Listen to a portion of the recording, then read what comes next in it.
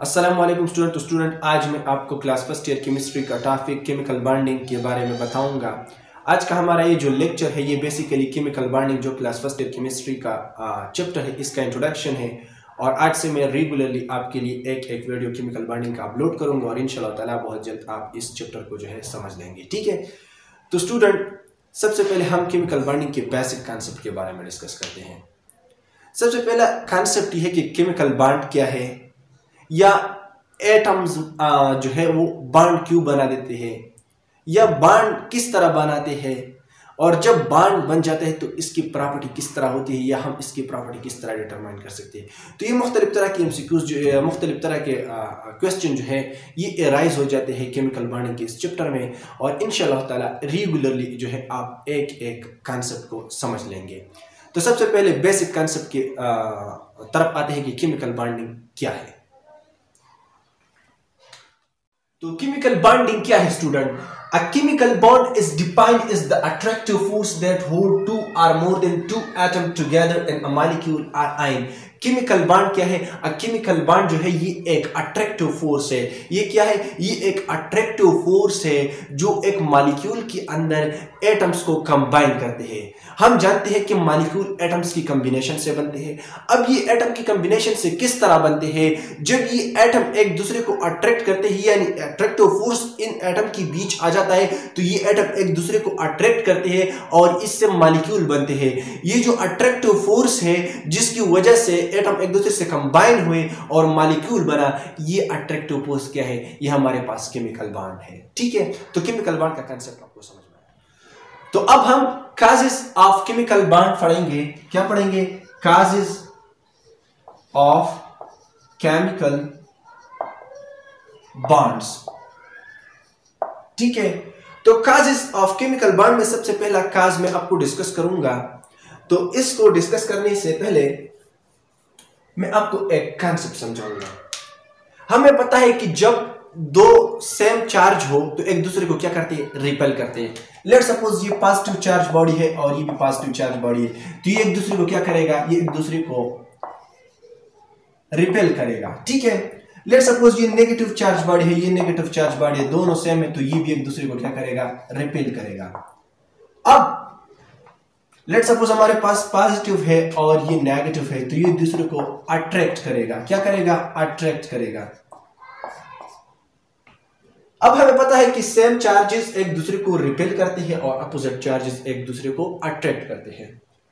तो ये हमारे पास एक एटम है और इस एटम के सेंटर में क्या है? न्यूक्लियस है। हमें पता है कि न्यूक्लियस में प्रोटॉन होते हैं और प्रोटॉन पॉजिटिव चार्ज होते हैं और इसकी शेल में क्या होती है? इलेक्ट्रॉन होते हैं। ये भी हमारे पास एक एटम है। इसकी, इस एटम के सेंटर में हमारे पास ये न्यूक्लियस है और ये क्या है? इसके इलेक्ट्रॉन है। ठीक है?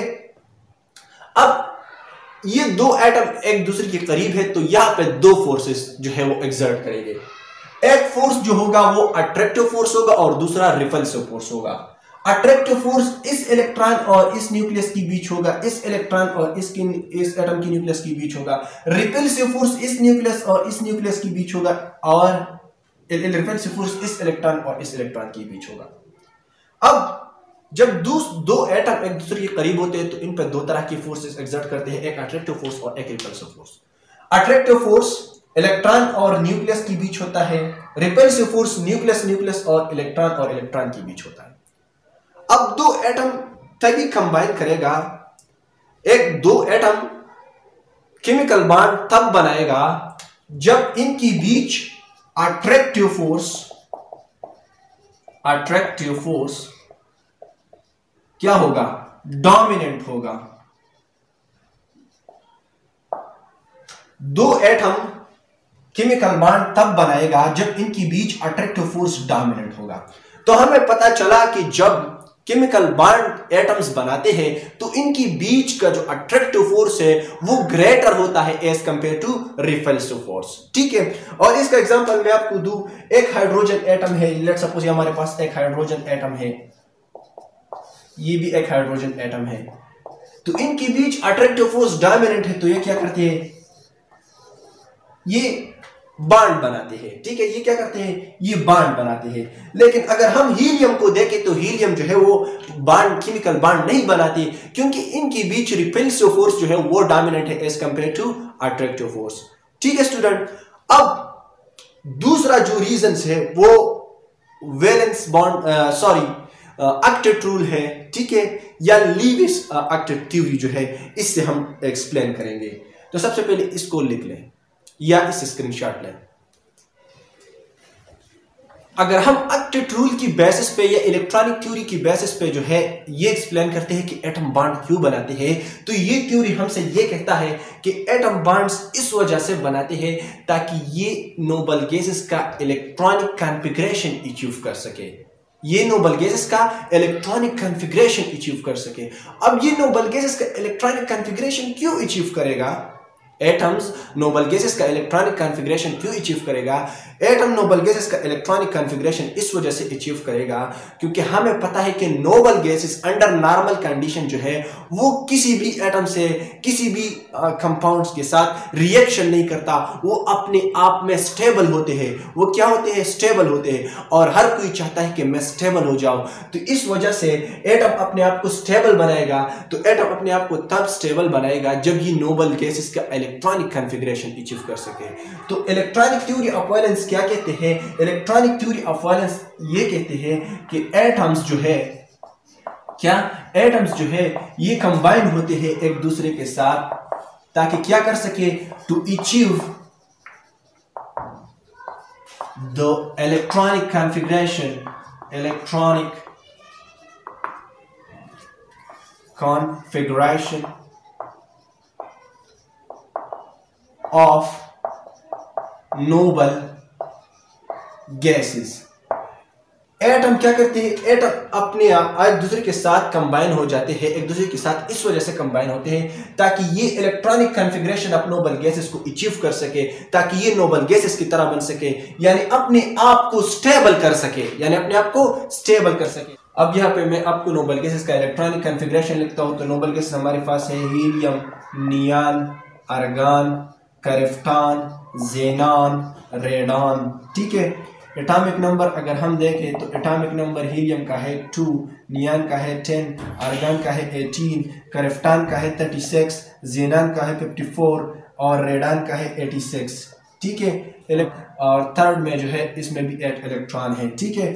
इस तरह करेप्टान को अगर हम देखें तो फ़र्स्ट शेल में टू इलेक्ट्रॉन सेकंड में एट इलेक्ट्रॉन थर्ड में एटीन इलेक्ट्रॉन और फोर्थ में एट इलेक्ट्रॉन इस तरह अगर हम जेनान को देखें तो जेनान के फ़र्स्ट शेल में टू इलेक्ट्रॉन सेकंड में एट इलेक्ट्रॉन थर्ड में एटीन इलेक्ट्रॉन फोर्थ में एटीन इलेक्ट्रॉन और फिफ्थ में एट इलेक्ट्रॉन इस तरह अगर हम रेडान को देखें तो रेडान के फ़र्स्ट शिल में टू इलेक्ट्रॉन सेकंड में एट इलेक्ट्रॉन थर्ड में एटीन इलेक्ट्रॉन फोर्थ में थर्टी टू इलेक्ट्रॉन ठीक है? फोर में थर्टी टू इलेक्ट्रॉन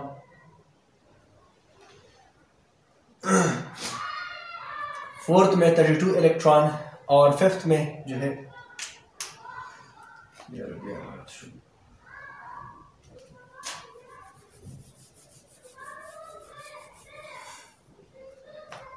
अब अगर हम इलेक्ट्रॉनिक कन्फिग्रेशन को देखें तो इलेक्ट्रॉनिक कन्फिग्रेशन हीलियम का है फ़र्स्ट शिल में टू इलेक्ट्रॉन हीलियम का, और नियन को अगर हम देखें तो नियन के फ़र्स्ट शिल में टू सेकंड में एट जेनान के करफ्टान के फ़र्स्ट शिल में टू सेकंड में एट थर्ड में एट इलेक्ट्रॉन करफ्टान के फ़र्स्ट शिल में टू सेकंड में एट थर्ड में एटीन और फोर्थ में एट इसी तरह जेनान के फ़र्स्ट शिल में टू सेकंड में एट थर्ड में एटीन फोर्थ में एटीन और फिफ्थ में सॉरी एट ठीक है, इसी तरह रेडान को अगर हम देखें तो रेडान के फ़र्स्ट शिल में टू सेकंड में एट थर्ड में एटीन फोर्थ में थर्टी टू फिफ्थ में एटीन और सिक्स में एट अब अगर हम देखें तो इन तमाम नोबल गैसेस की वैलेंस एक्सेप्ट हीलियम इन तमाम की वैलेंस शिल में जो है एट एट इलेक्ट्रॉन है। कितने इलेक्ट्रॉन है? एट एट इलेक्ट्रॉन है। और हीलियम का जो है, इसके वैलेंस शेल में टू इलेक्ट्रॉन है। तो दैट तो इस वजह से हम डिफाइन कर सकते हैं after rule the tendency of an atom to have eight electron in the valence shell is called octet ठीक है? तो एटम जो है, क्या करते हैं? अक्टेट रूल या उबे करते हैं, या डॉपलेट रूल जब किसी भी एटम के वैलेंस शेल में एट इलेक्ट्रॉन होते हैं तो ये एक्टेट उबे करता है, क्या करते हैं? एक्ट्रिट उबे करते हैं। और जब किसी एटम की वैलेंस में टू इलेक्ट्रॉन होते हैं तो इसकी वैलेंस में डोपलेट सॉरी डोपलेट तो ये डोपलेट रूल उबे करता है।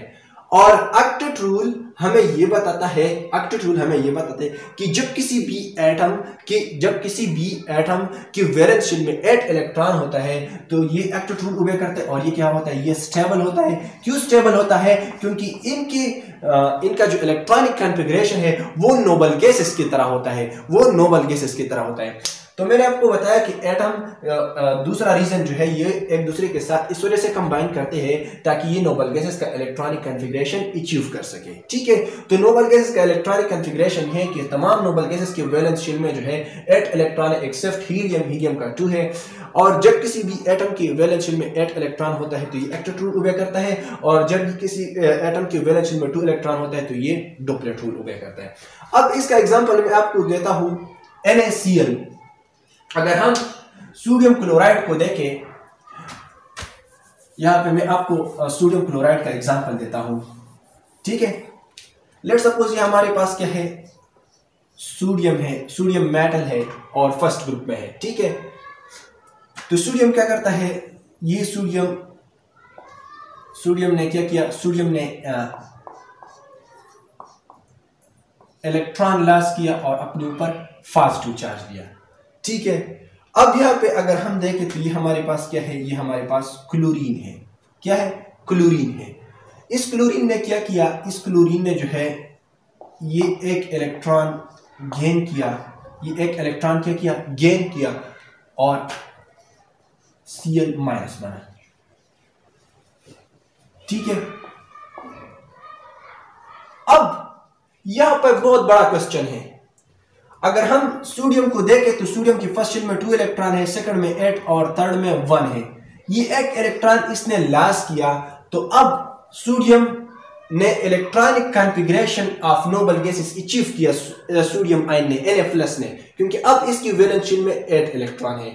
और, और अगर हम क्लोरीन को देखें तो क्लोरीन की फ़र्स्ट शेल में टू है सेकंड में एट है और थर्ड में सेवन है। अब इसने एक इलेक्ट्रॉन गेन किया तो इसके पास अब वैलेंस शेल में एट इलेक्ट्रॉन है, ठीक है? तो क्लोरीन आयन की वैलेंस शेल में भी एक इलेक्ट्रॉन है और सोडियम आयन की वैलेंस शेल में भी एट इलेक्ट्रॉन है, यानी ये एक्टेट रूल को ओबे करता है। तो फिर ये एन एफ़ प्लस आयन ये है, जो है, या सोडियम आयन जो है, ये क्लोरीन आयन जो है, अब तो ये स्टेबल हो चुके हैं। क्योंकि इन्होंने electronic configuration of noble gas को उबे किया है तो फिर ये सोडियम क्लोराइड क्यों बनाते हैं? फिर ये सोडियम क्लोराइड क्यों बनाते हैं? फिर ये सोडियम क्लोराइड इस वजह से बनाते हैं क्योंकि अगर हम देखें तो ये गैशियस फॉर्म में है। ठीक है? ये क्या है? ये गैशियस फॉर्म में है। और हमें पता है कि एटम तब ही स्टेबल होता है। ये एटम जब स्टेबल होता है तो एनर्जी को क्या करते हैं? एनर्जी को एमिट करते हैं। यानी इसका एनर्जी जो है वो कम होता है।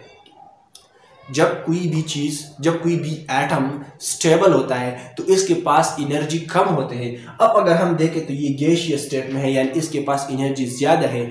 अगर हम ये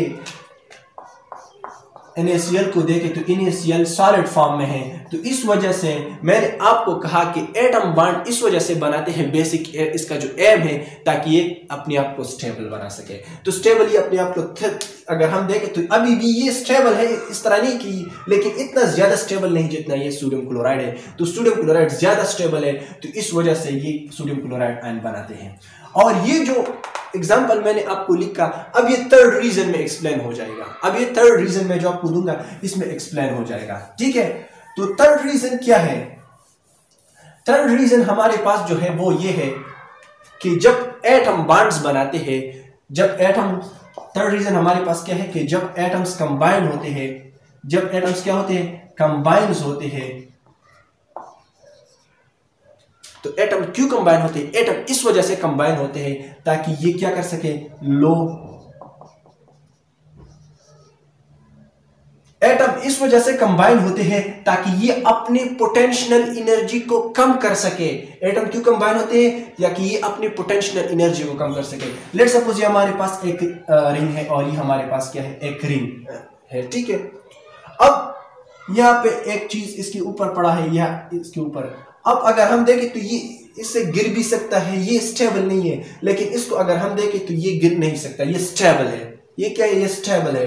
तो ये अनस्टेबल है। अगर हम पोटेंशियल एनर्जी को देखें तो पोटेंशियल एनर्जी है एच के बराबर है। ये इसका हाइट है, ठीक है? यहाँ पे हाइट ज़ीरो है तो पोटेंशियल एनर्जी क्या है? ज़ीरो है।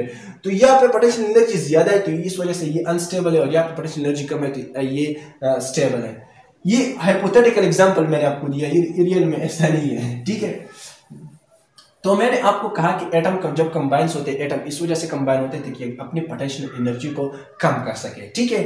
अब, यहाँ पे अगर हम देखें, मैंने जो आपको एनएससीएल का एग्ज़ाम्पल दिया तो सोडियम के पास और क्लोरीन आयन के पास एनर्जी फिर भी ज़्यादा था। क्योंकि ये गैशियस फॉर्म में और आपको को पता है कि मालिक्यूल या आयंस आप गैस जो है वो रैंडमली मोशन करते हैं रैंडमली मोशन करते हैं। लेकिन जब ये सॉलिड बन जाते हैं तो इसका क्लोज पैक स्ट्रक्चर होता है और फिर इसका मूवमेंट नहीं होता यानी ये स्टेबल हो जाते हैं। ठीक है?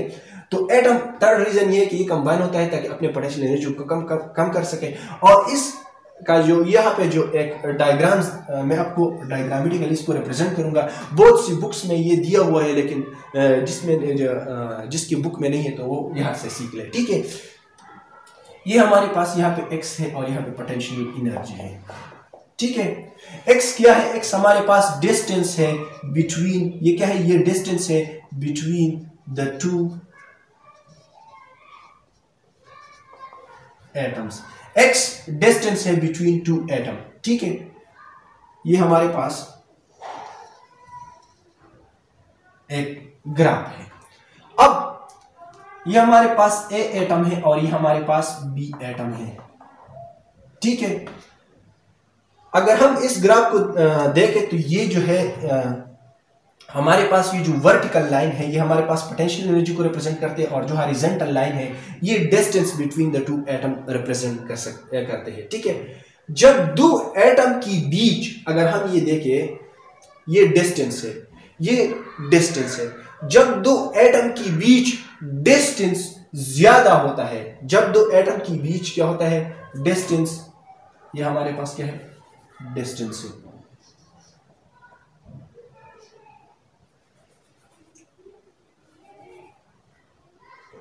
जब दो एटम के बीच डिस्टेंस ज़्यादा होते हैं लेट सपोज़ हमारे पास 100 सेंटीमीटर 50 सेंटीमीटर तो पोटेंशियल यानी पोटेंशियल एनर्जी यानी एट इन्फिनिटी 100 सेंटीमीटर क्या है? 100 सेंटीमीटर एक एटम के लिए इन्फिनिटी है। यानी जब डिस्टेंस ज़्यादा होता है तो यानी जब डिस्टेंस क्या है? ये इन्फिनिटी है। इन्फिनिटी पे क्या है? इन्फिनिटी पे ये इन्फिनिटी है। इन्फिनिटी पे पोटेंशियल एनर्जी क्या है? ज़ीरो है। ठीक है? जब डिस्टेंस एटम के बीच सबसे ज़्यादा होता है। लेट सपोज़ मैंने कहा है पचास सेंटीमीटर है, सौ सेंटीमीटर है एटम के लिए इन्फिनिट है तो पोटेंशियल एनर्जी क्या होता है? ज़ीरो होता है। लेकिन अब अगर हम देखें तो यहाँ पे पोटेंशियल एनर्जी बहुत ज़्यादा मिनिमम है। ये पोटेंशियल एनर्जी मिनिमम क्यों है? ये पोटेंशियल एनर्जी मिनिमम इस वजह से है कि दो एटम ने, दो एटम ने एक दूसरे के साथ बॉन्ड बनाया है। क्योंकि मैंने आपको कहा कि जब दो एटम एक दूसरे के साथ कंबाइन हो जाते हैं तो इसका पोटेंशियल एनर्जी बहुत ज़्यादा कम हो जाती है। ठीक है? अब अगर हम देखें तो यहाँ से फिर पोटेंशियल एनर्जी इंक्रीज होता है। तो इसका मीनिंग क्या है? इसका मीनिंग ये है कि ये दो एटम तो ऑलरेडी एक दूसरे के साथ बॉन्ड इन्होंने बनाए हैं। अब अगर आप एक दूसरे के साथ पार दर क्लोज करेंगे तो क्या होगा?